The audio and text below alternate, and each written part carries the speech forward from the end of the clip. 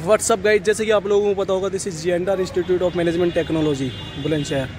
तो आज की इस वीडियो में बात करने वाली है बीए कोर्स हाँ वो बीए कोर्स कैसा है? बीए में एडमिशन लेने के लिए क्या करना चाहिए? कितनी फ़ीस है यहाँ पर?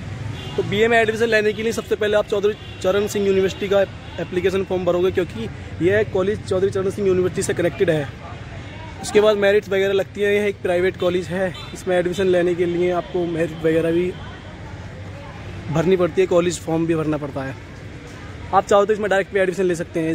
करते हैं बीए की फ़ीस के बारे में। बीए की फ़ीस यहाँ पर समथिंग छः हज़ार, सात हज़ार की अप्रॉक्सीमेटली वो आपकी परसेंटेज के ऊपर डिपेंड करती है कि बीए की फ़ीस आपकी कितनी होगी।